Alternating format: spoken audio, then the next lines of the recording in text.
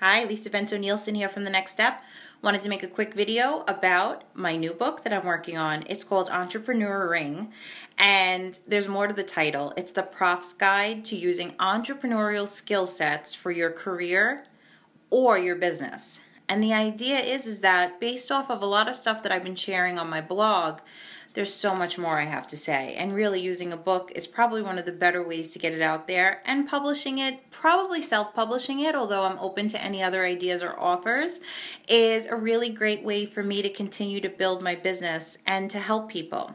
So, so much of what I've been learning as an executive, an entrepreneur, and an educator is that there are so many things that we could be doing to improve our careers, whether that be the fact that we want to open our own business down the road or just that we want to be able to do the best that we can in the time that we have at our careers. And I really think it's so important to share this knowledge. So, this book, I actually have a couple of different books in draft, but this is the one that I think will be the first to launch. It's the one where I have word counts, chapter ideas, outlines, everything's in a go. And I wanted to start with sharing one of the first quotes that I shared today on social media, and I'm going to share it now. So here it is, the first quote, which maybe could be used in the audiobook. I don't know, I like to think positive.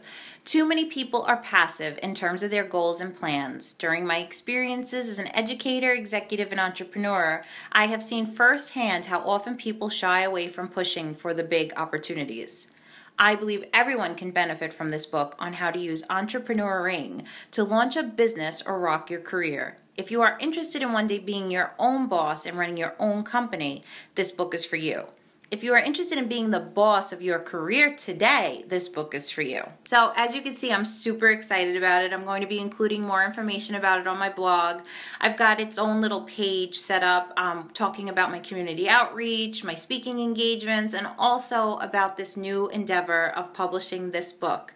So, I hope you're going to read it. Let me know in the comments what you think about it, and happy hunting. The next step 1234.com.